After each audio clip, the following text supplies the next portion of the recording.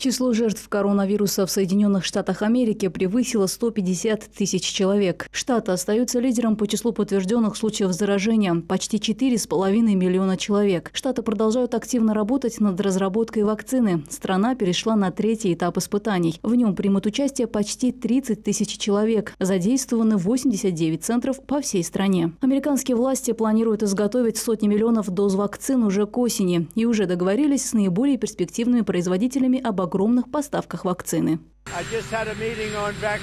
Мы провели совещание по вакцинам и лекарствам, и это была отличная встреча. Со мной было много наших замечательных докторов и исследователей. И я думаю, что встреча прошла очень хорошо, и мы преуспеваем в разработке вакцин.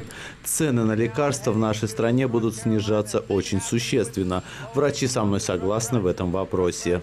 США массово производят вакцины кандидаты, чтобы в первый же день, как только препарат одобрят, он стал доступен американцам. Трамп также пообещал, что препарат будет доступен и для людей по всему миру. Снятие ограничений в Великобритании сопровождается договорами о воздушных мостах, причем без 14-дневного карантина между двумя государствами. В список признанных безопасными для британцев стран была включена Испания. Однако из-за роста случаев заражений в Испании британские власти передумали. Карантин введен для пребывающих в Британии населению Сибирийского полуострова, материковой части Испании. Теперь к нему добавили и Балиарские и Канарские острова. Правительство Испании резко отреагировало на это решение. По словам властей, рост новых инфекций приходится в основном на Каталонию и Арагон, но ситуация в остальных частях страны под контролем, а путешествия на острова остаются безопасными. Общее число заболевших коронавирусом с начала пандемии в этой стране около 280 тысяч человек, из них почти 30 тысяч скончалось. Прибрежный город в центральной части Вьетнама закрыт после того, как там были выявлены заразившиеся COVID-19. Это первый случай заражения движения во Вьетнаме с апреля. Туристы не могут въехать в город, а для вывоза уже находящихся там 80 тысяч приезжих привлекаются дополнительные авиарейсы. Эта страна еще в самом начале пандемии приняла быстрые действенные меры, закрыла границы и ввела карантин. В итоге за все время в стране было выявлено чуть более 400 случаев заражения коронавирусом и не зафиксировано ни одной смерти от осложнений. Тем временем в Гонконге за сутки было выявлено 145 новых случаев заражения коронавирусной инфекцией. Это стало новым рекордом для административного района. Ранее администрация Гонконга объявила о введении карантинных мер. Ношение защитных масок на улице обязательно. Запрещается собираться в группы больше двух человек. Нарушителям грозит штраф в 5 тысяч гонконгских долларов. Ограничительные меры в Гонконге вводятся с 29 июля на неделю. Всего с начала пандемии здесь было выявлено более 2600 случаев заражения. Умерли 20 человек. Общее число заболевших новым типом коронавируса в мире превышает 16,5 миллионов человек. Эльнара Алиева, CBC.